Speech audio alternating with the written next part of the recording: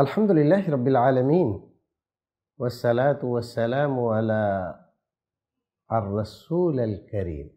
ناظرین، ہم جس ماحول میں رہتے ہیں، خاص طور سے اگر ماحول دیہات کا تو ہمیں موزی جانوروں کے دس لینے کا، کاٹ لینے کا اکثر خطرہ بنا رہتا ہے۔ اس طرح کی صورتحال سے بچنے کے لیے تکلیف سے چھٹکارے کے لیے کیا کرنا چاہیے؟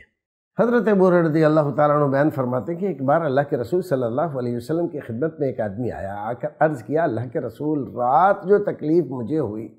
آپ نے پوچھا کیوں؟ کہنے لگا، ہوا یہ کہ رات ایک بچھو نے مجھے ڈنک مار دیا اور اس کی جو تکلیف پیڑا اور زہر تھا، بہت ہی تکلیف دہ تھا اللہ کے رسول۔ آپ نے فرمایا اگر تو شام ہوتے، یہ دعا پڑھ لیتا۔ اعوذ بکلمات اللہ تامات من شر ما خلق۔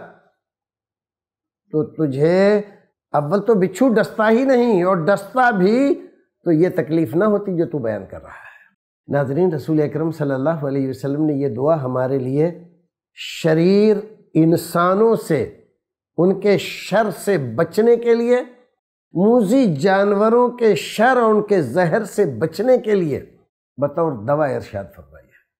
تو یاد کر لیجیے اس کو۔ اور ہر دن شام کو یہ دعا پڑھ لیا کیجیے۔ اور ہر دن صبح کو یہ دعا پڑھ لیا کیجیے۔ صبح کو پڑھیں گے تو دن بھر اللہ رب العزت کی حفاظت میں آپ رہیں گے۔ شام کو پڑھیں گے تو اللہ رب العزت کی حفاظت میں رہیں گے۔ اگر کوئی شریر انسان آپ کو تکلیف پہنچانا چاہے گا تو اللہ رب العزت اس تکلیف کو نہ کے برابر کر دے گا۔ کوئی مزی جانور اگر آپ کو ڈس لے دن میں، رات میں، تو اس کی تکلیف ویسی نہیں ہوگی جس سے عام طور پر ہوتی ہے۔ تو دعا یاد کر لیجیے۔ اعوذ بکلمات اللہ تامات من شر ما خلق۔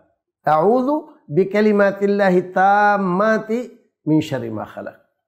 کسی کا تکلیف دینا، تکلیف پہنچانا، وہ جانور ہو، انسان ہو، اللہ کی کوئی بھی مخلوق ہو، اللہ رب العزت کے فیصلوں اور اس کی قدرت اور پاکیزہ کالمات کے ہوتے ہوئے تکلیف نہیں پہنچا سکتا کسی کو۔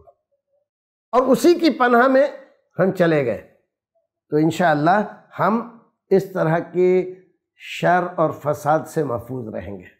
تو آپ خود پڑھیے، بچوں کو یاد کرائیے۔ شام کو اور صبح کو یہ دعا پڑھ لیا کیجیے تو آپ شر سے انسانوں کے اور مزی جانوروں کے محفوظ رہیں گے۔ اعوذ بکلمات اللہ تامات من شر ما خلق۔ السلام علیکم ورحمۃ اللہ وبرکاتہ۔ ایسے ہی اور ویڈیوز بنانے میں ہماری مدد کریں۔